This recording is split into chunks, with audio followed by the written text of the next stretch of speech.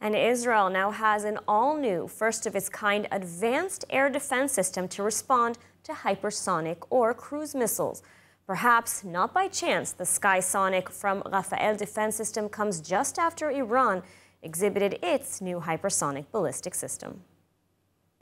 Rafael Advanced Defense Systems Skysonic Interceptor is able to respond to hypersonic ballistic or cruise missiles. The system, unveiled Wednesday, is a first of its kind anti hypersonic missile defense system. The revelation comes a week after Iran exhibited its Fatah hypersonic missile with claims of its ability to avoid air defense systems and target Israel. The Skysonic is able to intercept incoming hypersonic missiles traveling at five times the speed of sound on a complex trajectory, including all kinds of hypersonic threats from ballistic missiles to cruise missiles. The Pentagon was briefed on the development. The announcement, however, did not specify when the Israeli military might deploy the Skysonic system. But it will be shown for the first time at the upcoming Paris Air Show next week.